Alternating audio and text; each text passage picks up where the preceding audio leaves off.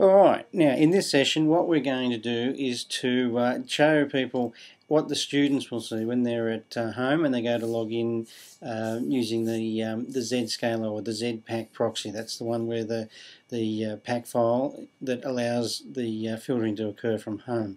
So what I've got here is just a web browser open um, and it when I'm on a normal like a site that's got an exception like a CEO site no big deal. But when I go to a site that needs to be authenticated, say this one,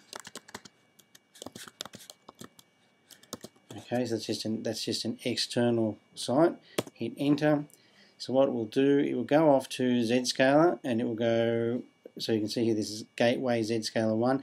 Now this is the default Zscaler login that everyone in the world sees. Now we wouldn't have seen this when you're coming from inside because uh, when you when it comes from inside it knows your source IP address and can throw you to the right instance. When you're coming in from the outside it doesn't know which school you're at so you've got to tell it um, and we're going to tell it by using the um, that login name.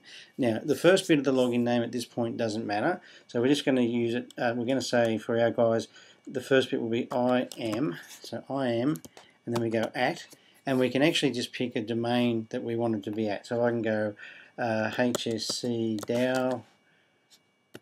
And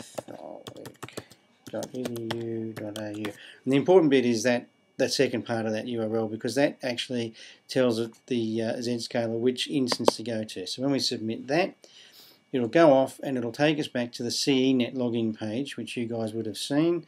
Okay, and this is where the students get to enter their user IDs in. So it's going to be their um, their NT account. Okay, I mean the Wollongong Diocese, obviously in one of the other dioceses you could pick another account. Okay, use my password. And there we go. It then it I've authenticated and I'm off.